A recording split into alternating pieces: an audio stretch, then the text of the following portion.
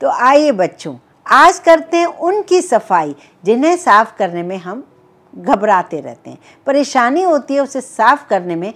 आज देखते हैं इसे कैसे साफ़ करेंगे मिनटों में। और भी चलो कैसे हैं आप सब? आज सीखते हैं कुछ नई सी ट्रिक।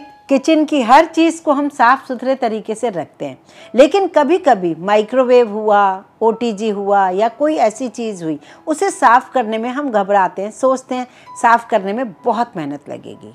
यहाँ मैं आपको वो बात बताती हूँ कि अक्सर घर में आजकल किचन में माइक्रोवेव है। माइक्रोवेव को साफ़ करना थोड़ा ईजी होता है, क्योंकि उसके अंदर जो भी रॉड्स होती हैं, जो गर्म होती हैं, वो इनबिल्ड होती हैं। तो उसे ख़राब होने में ज़्यादा प्रॉब्लम नहीं होती है। तो हम माइक्रोवेव को बहुत अच्छे से साफ़ कर लेते हैं। लेकिन जो अवन होता है, चाहे वो अवन किसी भी टाइप का हो, उसकी जो रॉड्स होती हैं, वो बाहर शो होती हैं, हमें दिखती हैं। तो ऐसे में हमें ये लगता है कि हम उसे साफ़ करेंगे, फिर उसकी रॉड्स ख़राब हो जाएगी, फिर क्या होगा? आज मैं आपको एक सरल तरीका बताती हूँ और एक सरल सोल्यूशन बताती हूँ, जिससे आप उसे मिनटों में साफ़ कर देंगे। गंदे से गंदा अवन अगर आपका ख़राब हो गया तो इस तरीके से आप साफ़ कर पाएँगे।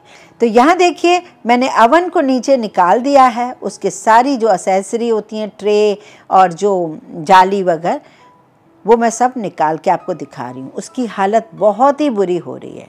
ये देखिए, कई टाइम से मैं भी इसे लापरवाही से देख रही थी, साफ़ नहीं कर रही थी।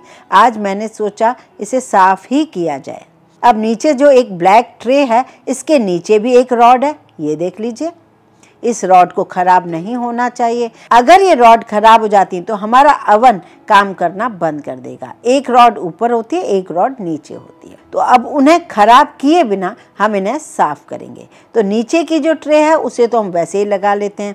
और साइड में जो एक फ़ैन होता है, वहाँ भी बहुत गंदगी हो जाती है। ऐसे में हमें इसे साफ़ करना बहुत बड़ा टास्क है।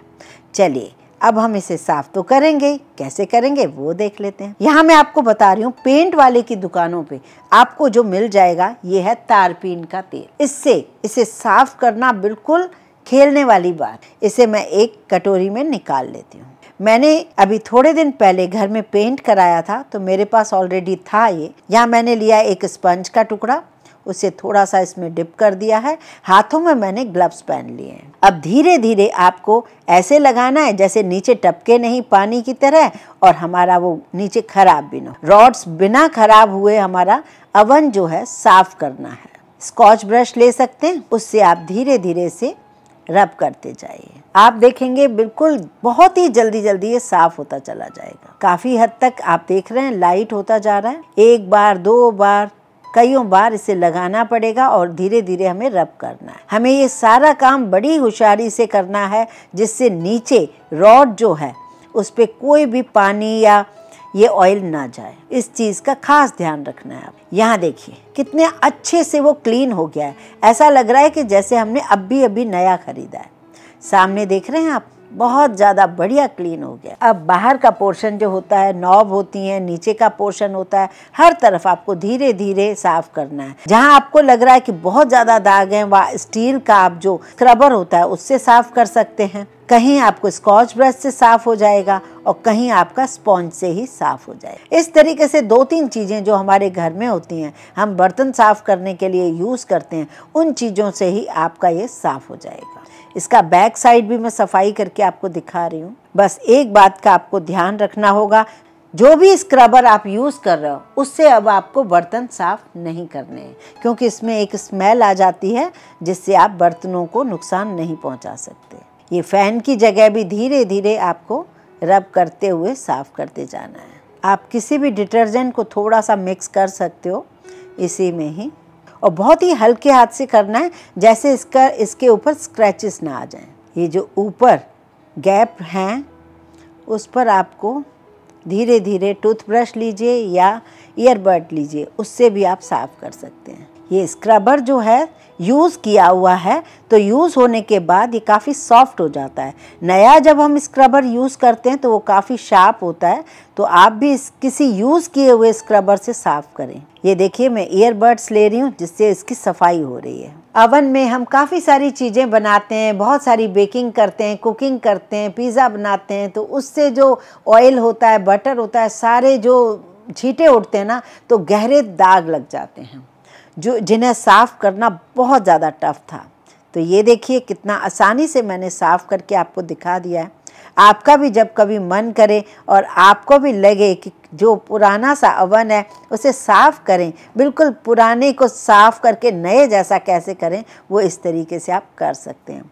और बहुत ज़्यादा मेहनत करने की ज़रूरत नहीं है, बड़ा ही आसानी से हो जाएगा। लास्ट में एक टॉवल को या नैपकिन को पानी में डिप करके और सादे पानी से आप निचोड़ के इसे साफ़ कर लीजिए जिससे क्या होगा, इसमें स्मेल भी चली जाएगी और स्मेल लास्ट में बिल्कुल ना बचे। उसके लिए भी मैंने आखिर में एक तरीका बताया है, वो भी आप फॉलो ज़रूर कीजिए।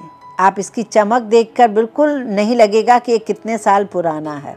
काफ़ी साल पुराना है और बिल्कुल नए जैसा हो गया है। ये सारी जगह जो जाली टाइप बनी हुई है, मैंने ईयरबड डाल डाल के उसे साफ़ किया है। आपने देखा ना नैपकिन से मैंने किस तरीके से उसकी सफ़ाई कर दी? हर तरफ़ से बिल्कुल चमक सा गया है।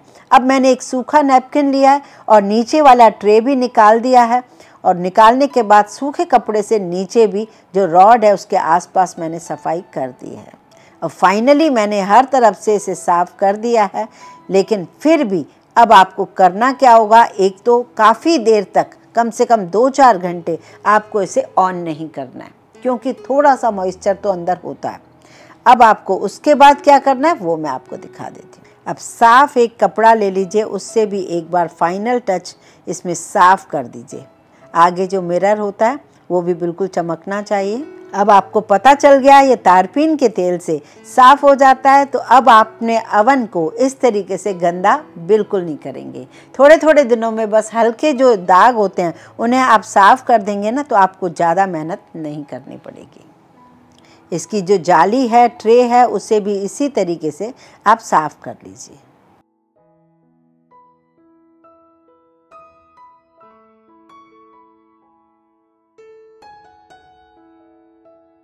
अब मैंने जगह पर लगा दिया है अवन को जहाँ मैं रखती हूँ। जाली भी साफ़ हो गई है, ट्रे भी साफ़ हो गई है, अवन भी चमक गया है। अब इसमें कोई भी काम करने से पहले हमें क्या ऐसा करना चाहिए जैसे इसमें बिल्कुल भी कोई स्मेल न रहे। अब दो तीन घंटे तो पहले आपको ऑन ही नहीं करना है। जब दो तीन घंटे बाद आपको क्या करना है, एक नींबू काट लीजिए, उसके छोटे छोटे स्लाइस कर लीजिए, एक कटोरी में रख लीजिए और पानी डाल दीजिए। अब इसे रख दीजिए। रखने के बाद 10 मिनट इसे खाली चलाइए, जिससे क्या होगा, जो नींबू है, वो अपनी खुशबू इसके अंदर फैला देगा। जो स्मेल है, वो नींबू के अंदर चली जाएगी। तो आपका अवन नीट एंड क्लीन हो जाएगा। इसमें कोई भी ऐसा फ्लेवर नहीं होगा, जो आपके खाने को खराब करे। तो देखा ना बच्चों, मिनटों में हो गया अपना अवन बिल्कुल नए जैसा। वीडियो पसंद आए तो लाइक ज़रूर कीजिए, ज़्यादा से ज़्यादा शेयर कीजिए। इस चैनल को सब्सक्राइब करने में कोई कंजूसी न